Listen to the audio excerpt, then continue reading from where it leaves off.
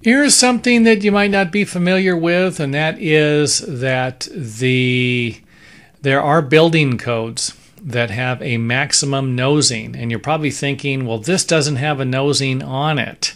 Well, the building code, I believe, is an inch and three eighths, and it's not allowed to project past. So this would be the farthest point, farthest point forward, farthest point backward um, on the face of the step. This would be the area that uh, you would measure. And even like like you say, hey, this doesn't have a nosing on it. A nosing is uh, looks a little different, but it's the same thing. The building code is quite clear the way that they use their language, and I'm not saying exact. But uh, this right here looks like it's about two inches. Got a little carried away with it here, and this does too. So just something to to uh, consider. And I would imagine that if you're the problem here isn't going to be walking down, the problem is going to be walking up.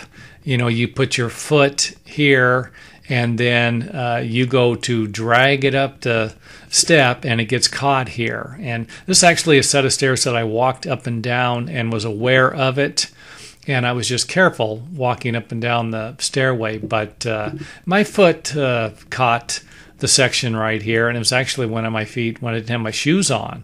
So when I had my shoes on, I seemed to walk up it a little better than when I had them off. So just something to be aware of. Even though this wouldn't be considered a nosing, they do not, or you, most people wouldn't consider it a nosing. This is actually a stairway with a what I would refer to as a undercut of uh, the riser. So it actually goes under and then up. So uh, this that that's that uh, building code also applies to this if you read the building code thoroughly. So don't get carried away with something like this because you're trying to squeeze a set of stairs into an area that uh, you actually can't build the stairs in.